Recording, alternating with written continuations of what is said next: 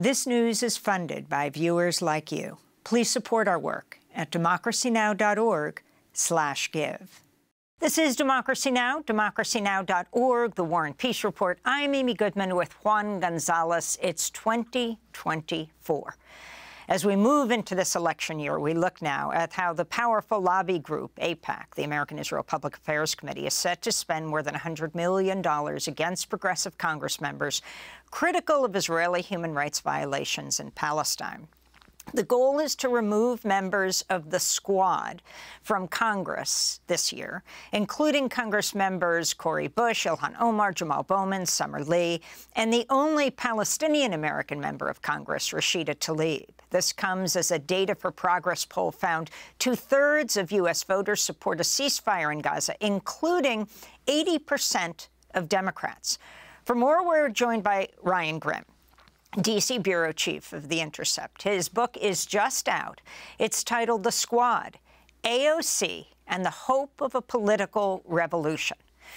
Ryan, why don't you lay out your revelations in this book? Um, and perhaps you can start with AOC and what happened um, when she was elected. I want to play for you a clip you write in your book about how a representative of AIPAC approached Democratic Congressmember Alexandria Ocasio-Cortez's team with an offer of $100,000 in July of 2018 to, quote, start the conversation about her views on Israel.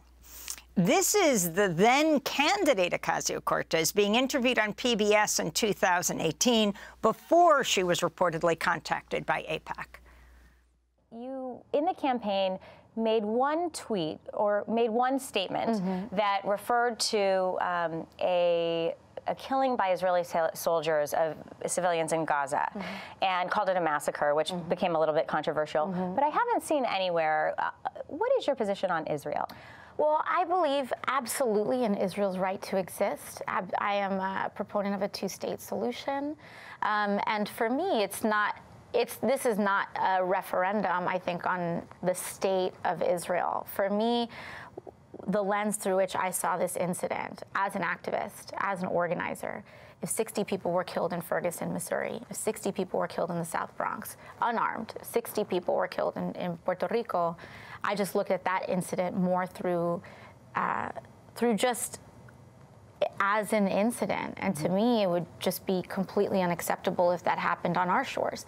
So that was Alexandria Ocasio-Cortez in 2018, before she was first elected, and um, one of the four members of what's known as the Squad, which is also the title of your book, Ryan Grim.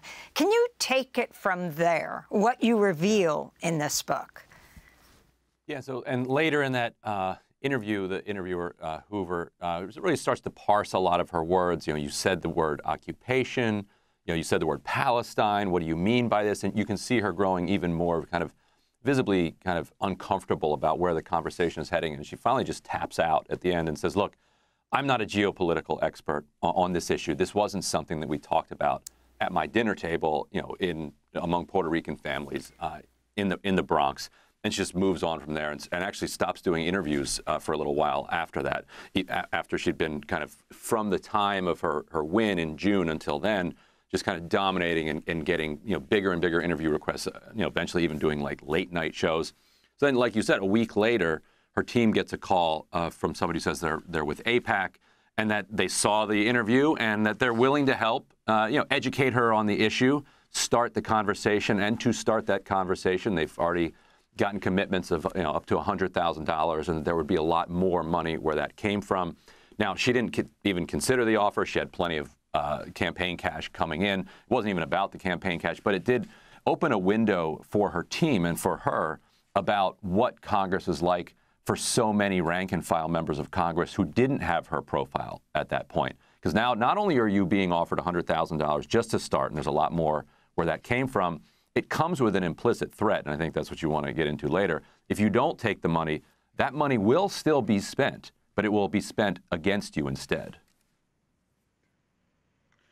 And, Ryan, could you talk about, uh, and you do so in the book, AIPAC's role in uh, in purging the Democratic Party of any uh, of any uh, potential uh, uh, candidates or office holders who who don't toe the line when it comes to Israel?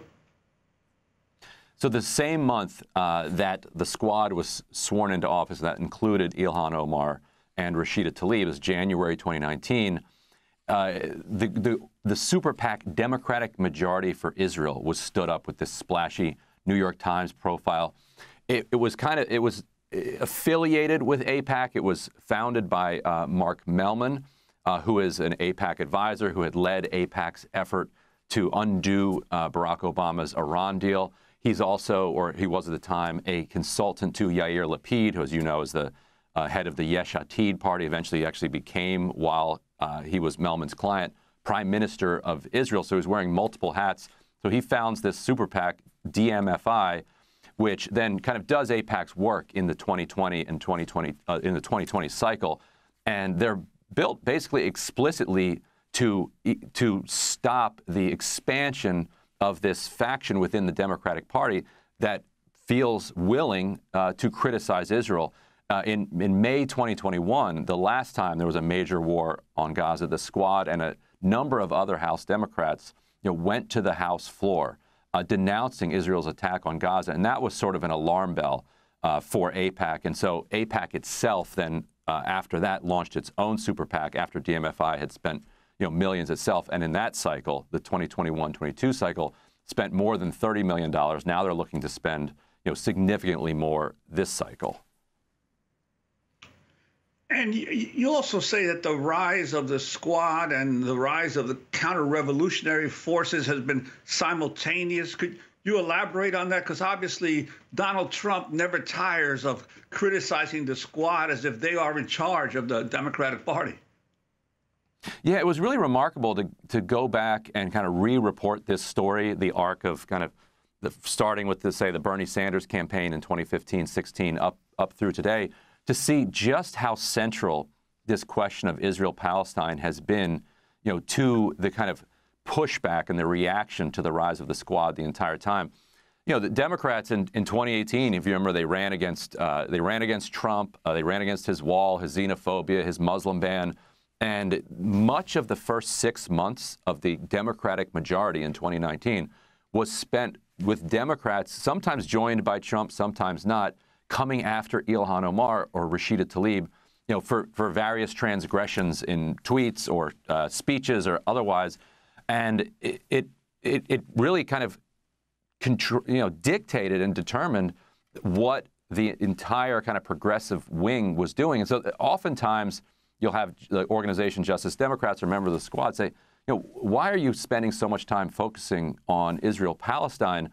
And the answer would be, they're not. It's actually it's actually the reaction. They're kind of they're kind of forced to, and so that the amount of spending that was done against them and that continues to be done against them kind of forged them into a, a cohesive political formation that might not actually have existed otherwise. But so in the 2022 cycle, like you said, you know, that's when they spent you know millions against not just Nina Turner, the most high-profile example that they kept out, out of Congress, uh, but also across the country uh, going after uh, progressives who were critical of Israel, but also were progressive because you know the, the same kind of uh, hedge fund, private equity executives, uh, you know baseball team owners that are funding AIPAC and DMFI also have the same kind of interests as the as any you know major business owner uh, would. So the the same agenda that is uh, you know that is that that forms kind of the squad's criticism of Israel also you know their, their support of uh, Green New Deal, Medicare for all, you know, higher, you know, closing,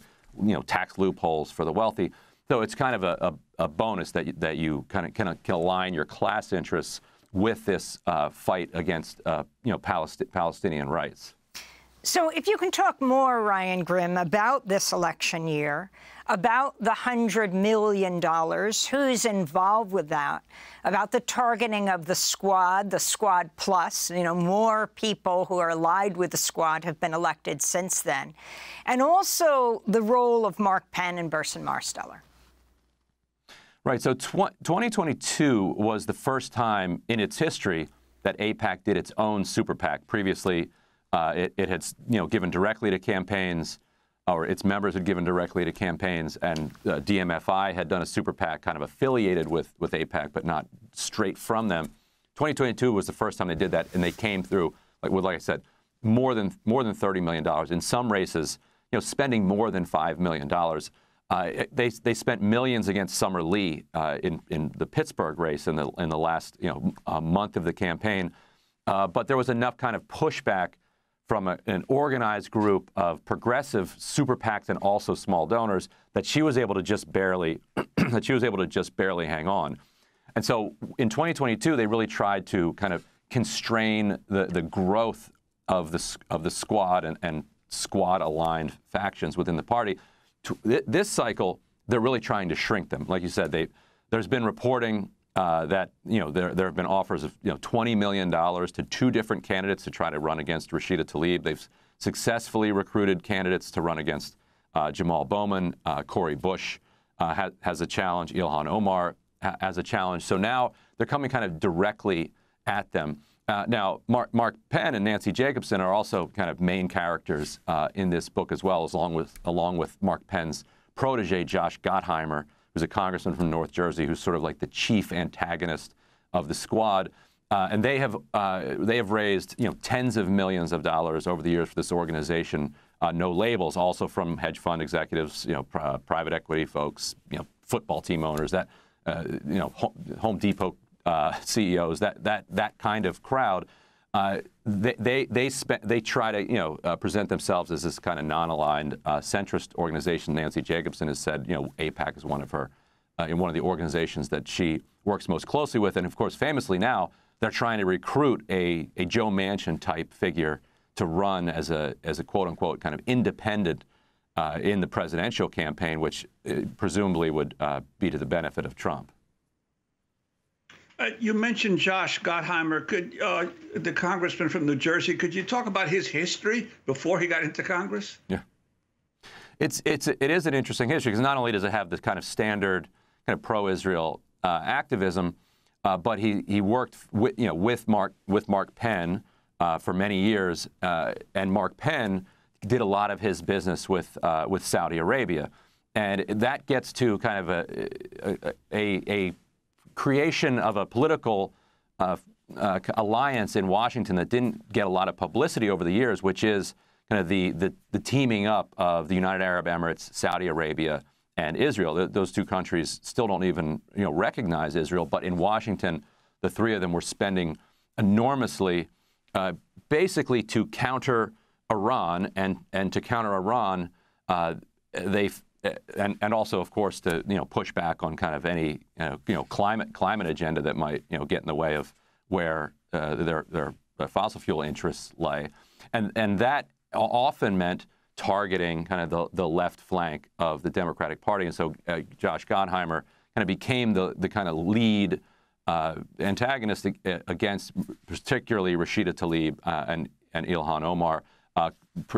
You know, just repeatedly pushing for, you know, censure resolutions, uh, going on, you know, cable news regularly to, to denounce his colleagues and encouraging other Democrats to then also denounce them, uh, teaming up with Hakeem Jeffries to, to do a kind of uh, a, a, super PAC that was aimed at kind of going after them uh, and going and going after kind of squad aligned candidates as as well. So th that that's really the kind of nexus of this civil war that's going on inside the uh, House Democrats. We have about two minutes to go, Ryan, and I'm wondering if you can talk about what most shocked you in the research for your book, The Squad. I think it was the the sheer amount of money uh, that was involved and just how dominant it been because we, we can say the numbers over and over again 30 million 40 million 100 million dollars but what doesn't quite come through is how that influences not just the races where money is spent, but also where it's not spent. And so I, I heard of so many different conversations that would be held among you know consultants and campaigns that that were worried that AIPAC or DMFI was going to start spending millions of dollars in their race, and they would meet, they'd have a conference call, and they'd figure out, okay, how do we stave this off?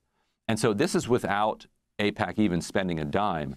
And they would say, well, let's, you know, the easiest thing we can do is let's just post, I stand with Israel. And some candidates would just do that. And then others uh, would reach out to DMFI. Uh, John Fetterman, uh, his campaign did this. Others did it as well. And say, what, what do we need to do? Like, what kind of policy positions do we need to publicly have so that you're going to stay out of this race? Not that you're going to fund us, but that you're not going to fund our opponents. And that really, it, to a shocking degree, constrained, you know, what Democratic candidates were willing to say when it came to criticizing Israel. Ryan Grim, we want to thank you so much for being with us, D.C. Bureau Chief for The Intercept. Um, Ryan's new book is called The Squad. AOC and the hope of a political revolution. And we'll also link to your articles at The Intercept as you continue to cover this issue. For those who didn't get to see Democracy Now! on January 1st, um, you can go to democracynow.org and see the Belmarsh Tribunal excerpts of it, uh, looking at the case of Julian Assange, whose final appeal goes um, before a London court on February 20th and 21st. Democracy Now! produced with Renée Feltz, Mike Burke, Dina Guzder, Messiah Rhodes, Nermeen Sheikh, Maria Taracena. I'm Amy Goodman with Juan Gonzalez for the first edition of Democracy Now! Democracy Now! is funded by viewers like you. Please give today at democracynow.org/give.